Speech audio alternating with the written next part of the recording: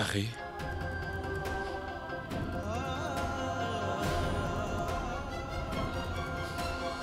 خلص بقى يلا ارضى عليه. لا تضلك زعلان منه. ليكو سلفي رجع على البيت خلص. بس هو رجع متأخر كتير علينا. أخي أنا. تأخرت.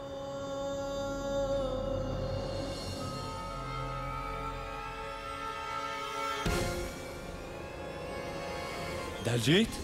تعال جيت ابني وين كنت أنت؟ انشغل بالي عليك كتير. شو هاد؟ قلي شو صاير؟ قلي ابني مين اللي عمل فيك هيك؟ آه سلفي ده جيت؟ عمي انت رجعت؟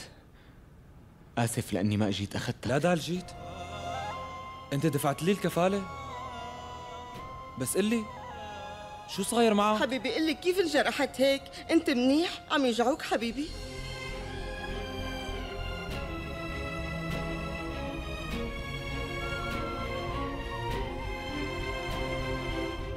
قل لي ابني شو صاير؟ خلص بابا خلص أنا منيح. دال جيت قلي الحقيقة هي البنت الحقيرة صيبة؟ شو هاد يا ربي؟ أنا ما عم بفهم ليش نسوان هداك البيت مصرين إنهم يخربوا بيتي ويخربوا حياتنا كمان. ليش هيك؟ حسابهم عندي. أنا ما رح خليهم أمي. بكل حياتهم. أنا ما بدي أسمع ولا كلمة عن صيبة. أنا عرفت الحقيقة وخلص أمي. كل شي عملته من شاني. بس بس قلي مين اللي وصلك لهي الحالة؟ يا الله حرارتك مرتفعة. هذا شو اللي صار لك؟ كيف احترقت إيدك هيك؟ تعوا شوفوا تعوا. شو؟ يا ربي. يا ربي دخيلك شو صاير ابني؟ قل لي قل لي أي شيء ابنك حصل على حياة جديدة لأنه مشي بقلب النار. لك ابني أنا بدي تقلي كيف وصلت لهي الحالة اللي أنت فيها؟ احكي. ما بقى في شي سيء رح يصير. من بعد هلأ كل شي رح يكون منيح. أنا تركت كل الأيام السيئة وراي. خلصت منها.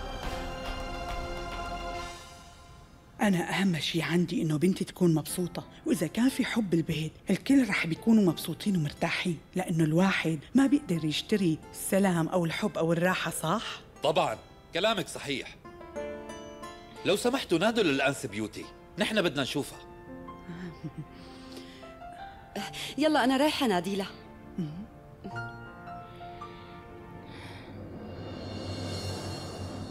بيوتي. مشاني أنا اطلعي شوفيهم مرة واحدة بس. كلهم عم يسألوا عنك من زمان. ليك يا عمتي إذا بدك تجي يلا تعالي لأنه أنا صرت عاملة شاي مرتين لهلأ وما رح أعمل مرة ثالثة. روز مو وقتك انت هلأ ها؟ بيوتي بس اسمعيني رفقات اخوكي قاعدين برا وبدهم يشوفوكي وستي شاغلتهم بالحديث من وقت طويل. وإذا انت ما بتطلعي هيك رح تتشوه سمعة أخوكي.